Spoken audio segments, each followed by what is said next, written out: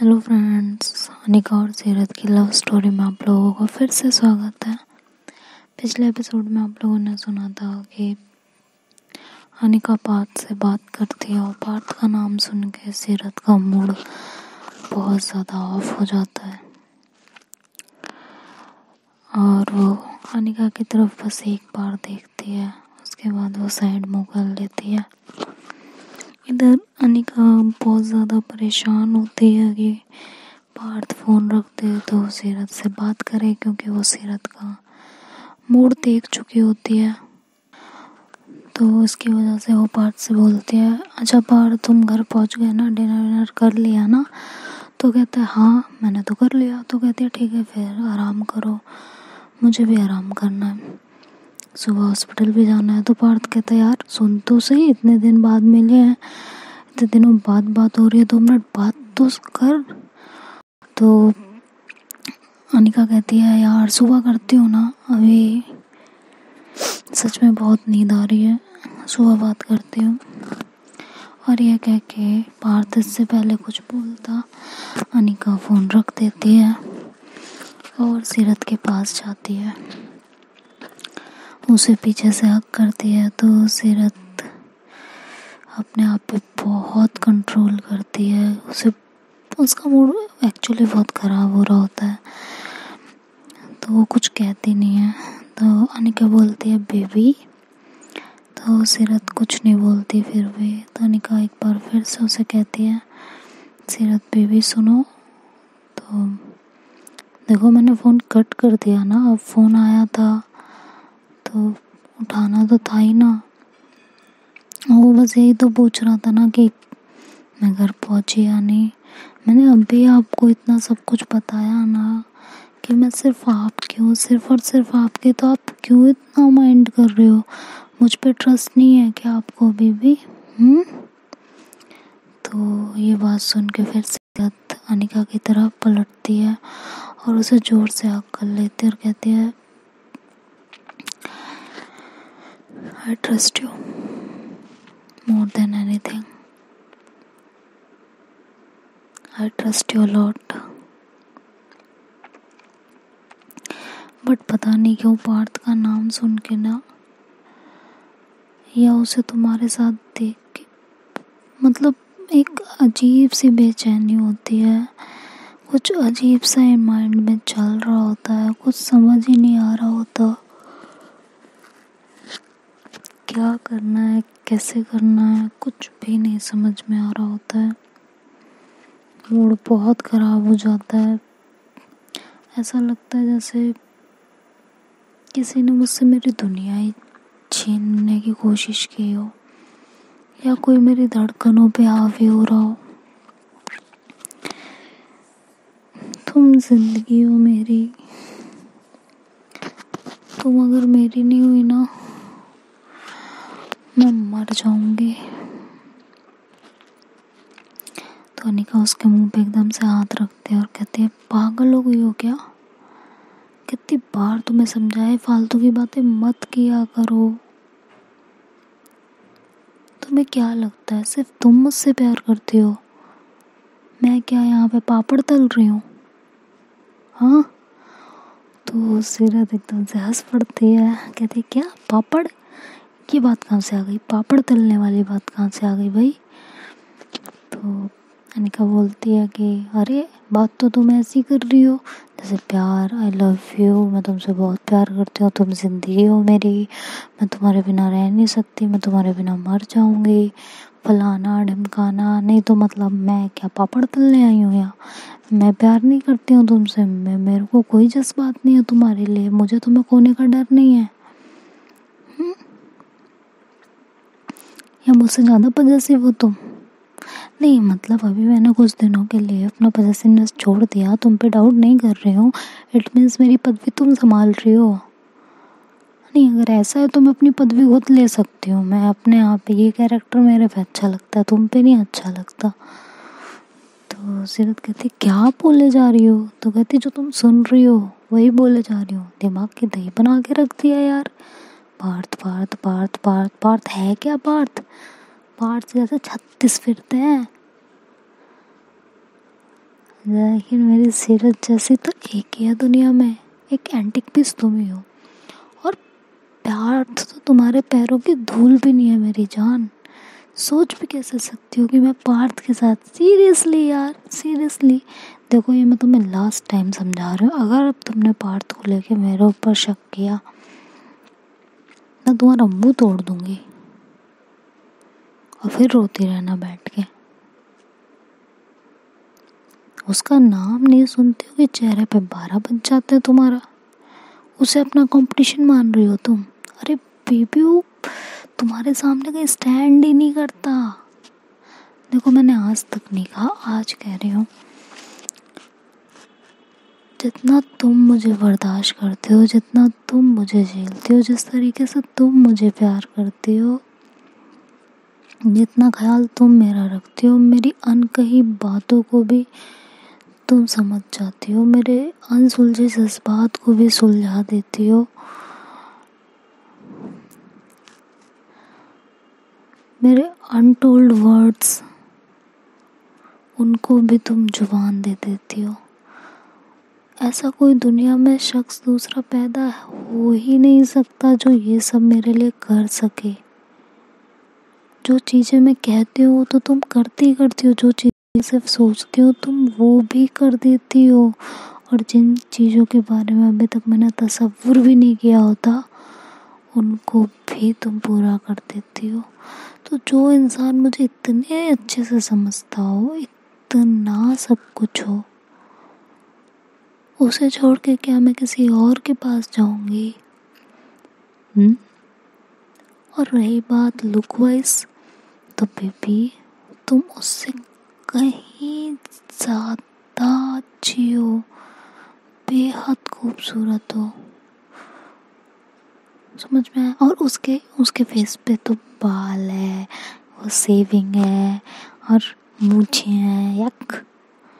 तुम्हारा तो ये फेस देखो कितना क्लीन क्लीन है, हाय, कितना सॉफ्ट है।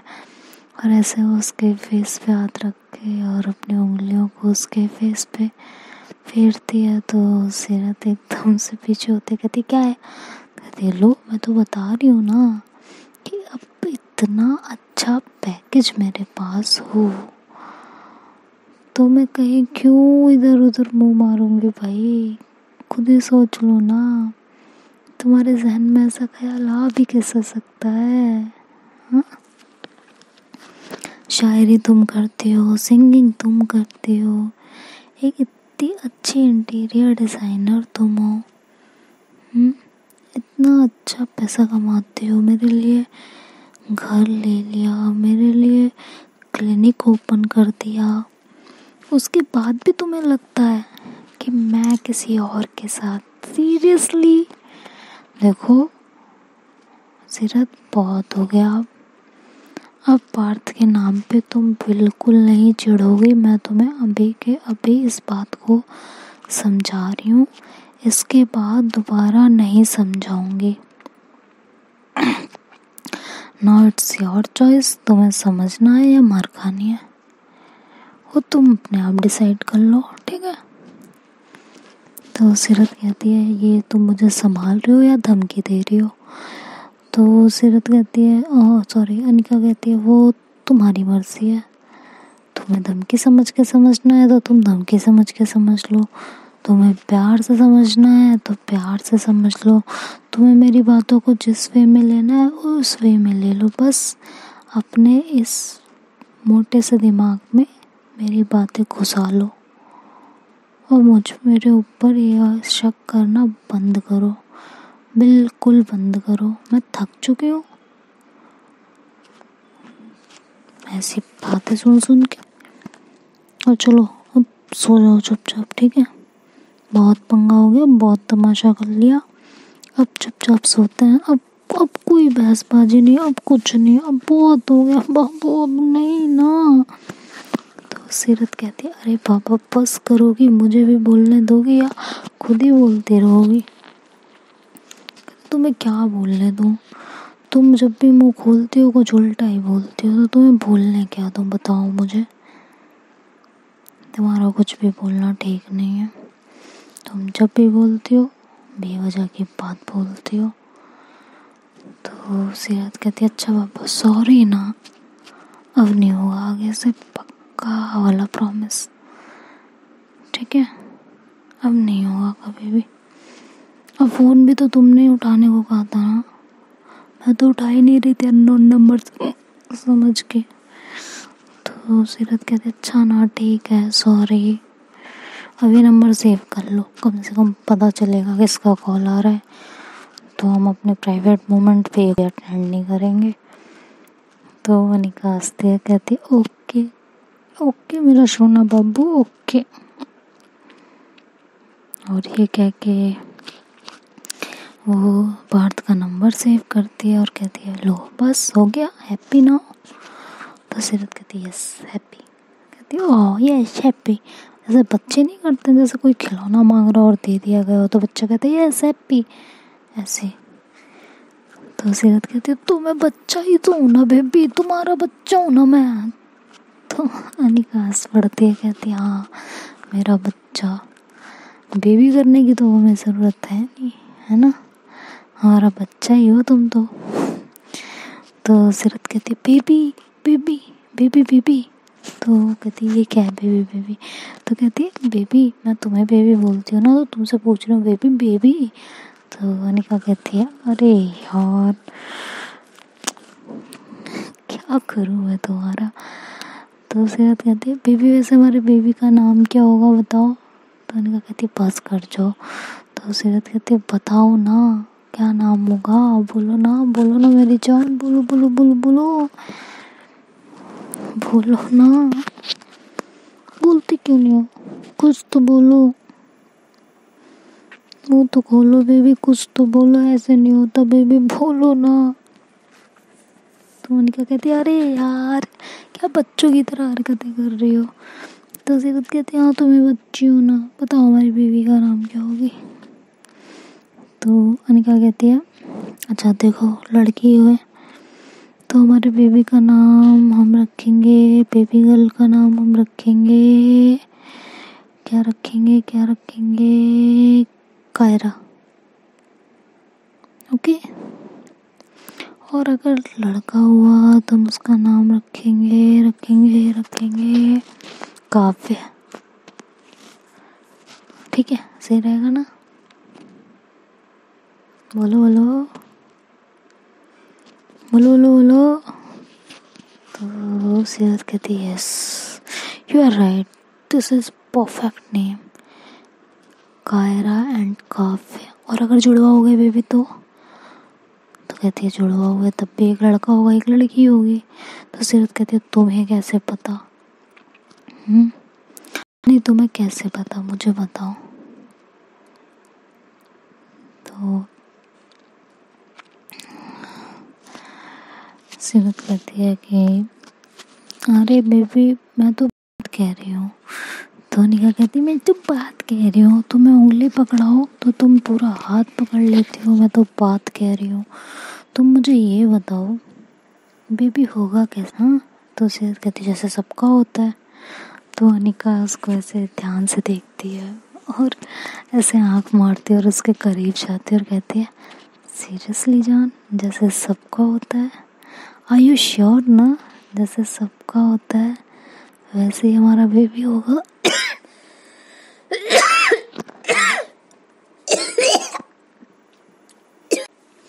जैसे सबका बेबी होता है, वैसे हमारा भी होगा ना?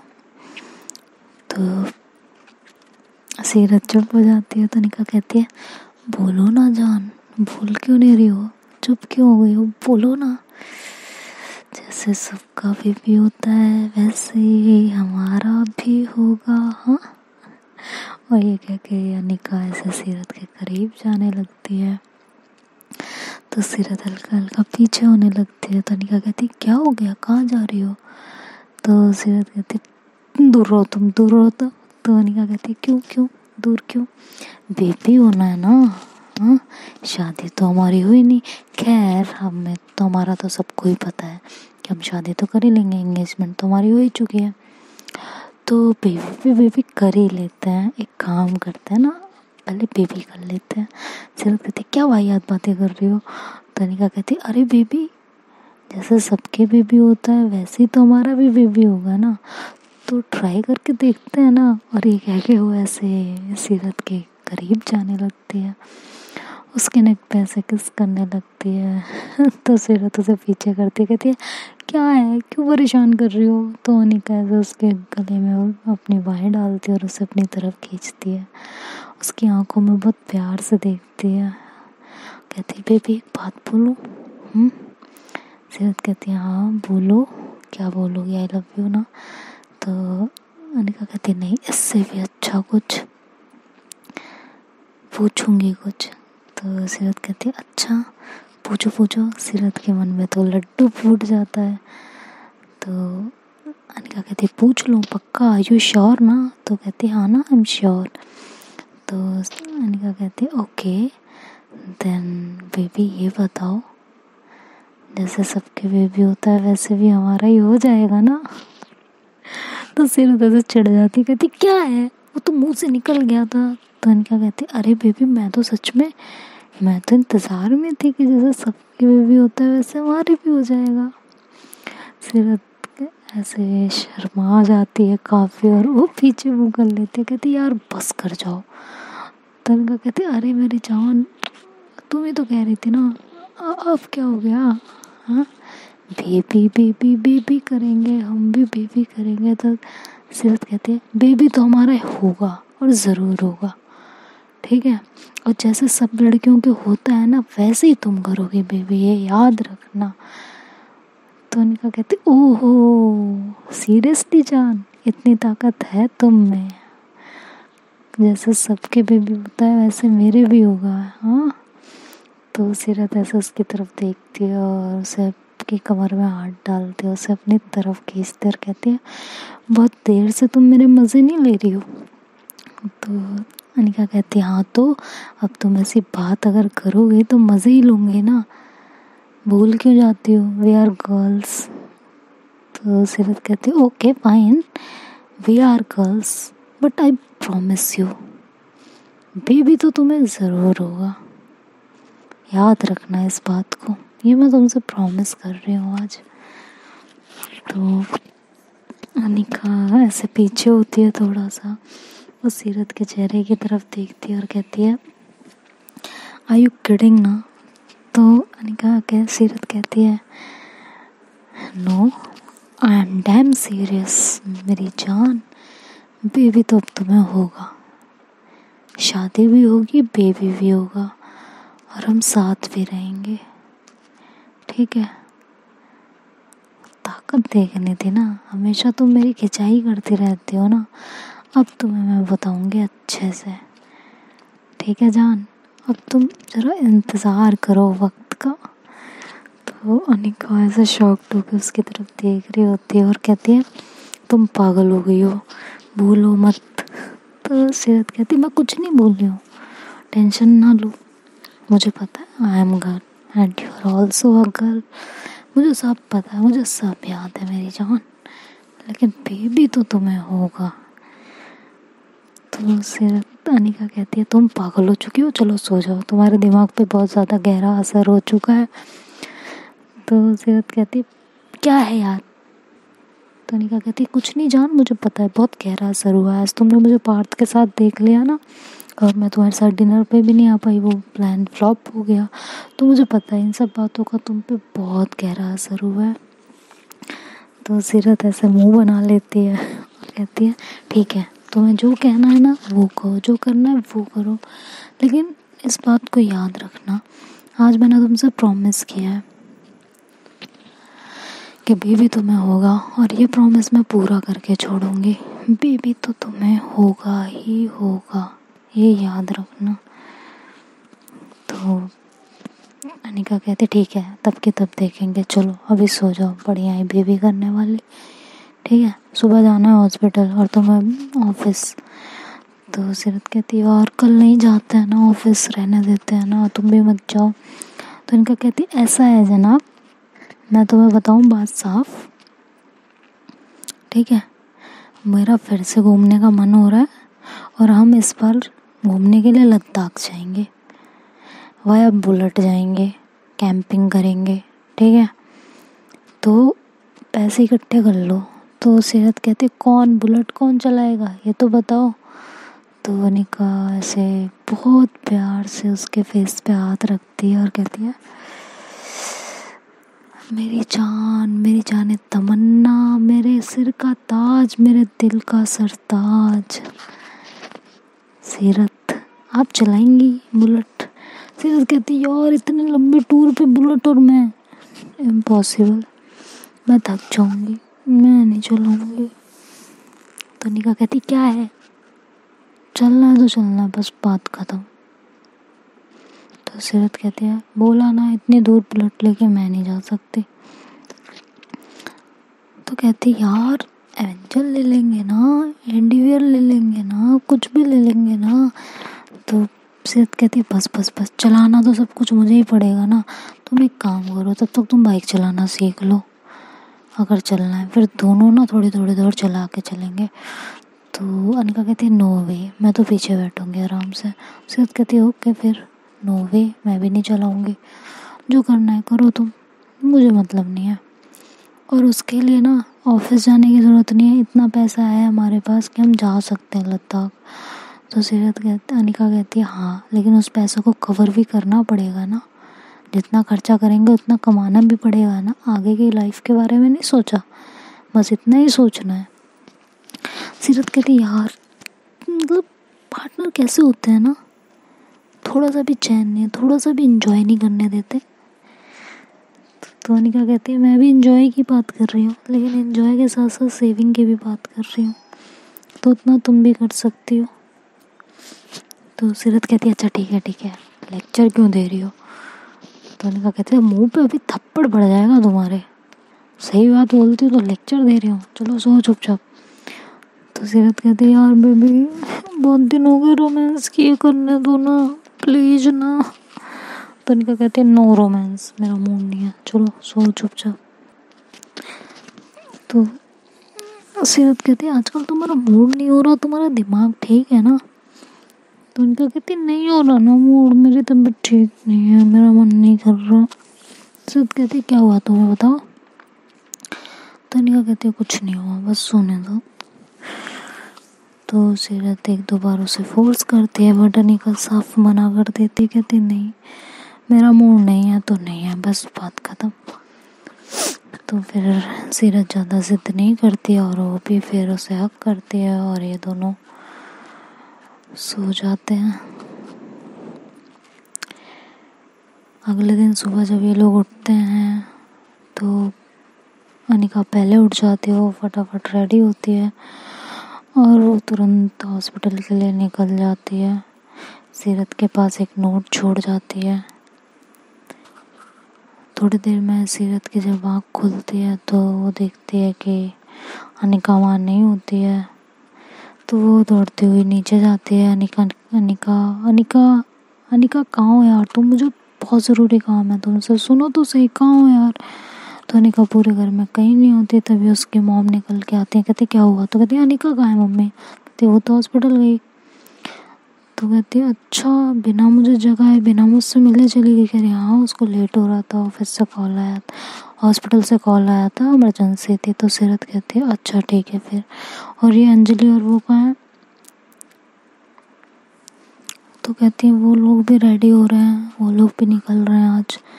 सीरत कहती है शर्ट यार, मैं तो भूल ही गई थी कि मैंने एक दिन के लिए इन्हें रोका था। खैर, तभी अंजलि और शिका भी रेडी होके बाहर आ जाते हैं और वो भी फिर सीरत को हक करते हैं उससे दो चार मिनट बातें करते हैं।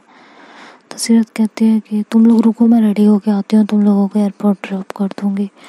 शिका कहती है, नहीं, मैंने कैब बुला ली और तुम्हारी तबीयत ठीक नहीं है, पैरों में लगी हुई है, तुम जाके आराम करो। तो शिका वो कहती है सीरत की, तुम्हें कैसे पता? मेरे पैरों में लगी हुई है। तो कहती है, निका ने मुझे बताया था और कुछ नहीं। तो कहते हैं कि अच्छा ठीक है फिर। और वो, मैं चलती हूँ ना, कोई इतनी ज़्यादा नहीं लगी हुई। तो शिका कहती है, बुला ना, नहीं। और ये कह के वो उसे हक करने लगती है। तो देखती है कि सीरत को फीवर भी हुआ होता है बहुत ज़्यादा। वो इंजेक्शन की वजह से उसे फीवर आ गया होता है टेटनेस के इंजेक्शन की वजह से। तो वो कहती है, देखो, तुम्हें फीवर भी है, तुम जाके आराम करो। तो सीरत कहती है, यार, कुछ नहीं हुआ मुझे सब ठीक है। तो फिर उसकी मॉम जो है, वो अनिका को कॉल करती हैं। अनिका कॉल पिक करती है तो शिखा फ़ोन लेती है और अनिका से बातचीत करती है थोड़ी बहुत देर।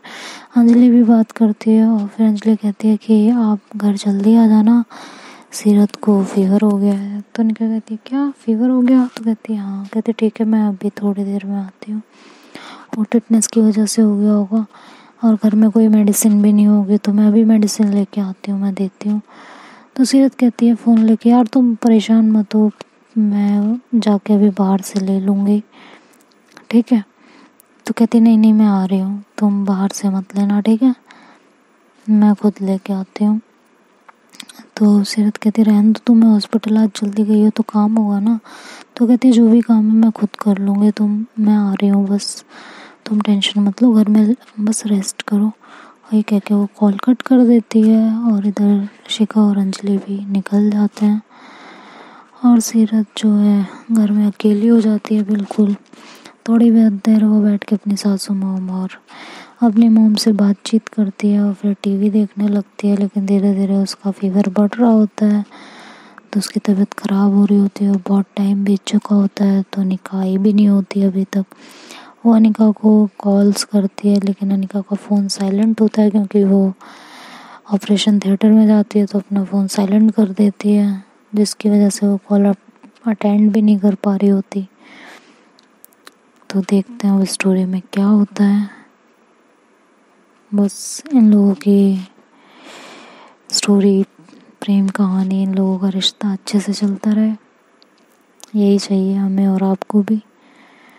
बाकी तो क्या होगा, ये नेक्स्ट पार्ट में पता चलेगा। तब तक आप लोग वीडियो पसंद आए तो लाइक शेयर एंड सब्सक्राइब और कमेंट करिए। भूलिएगा मत। बाकी कल फिर से मिलते हैं। Bye bye take care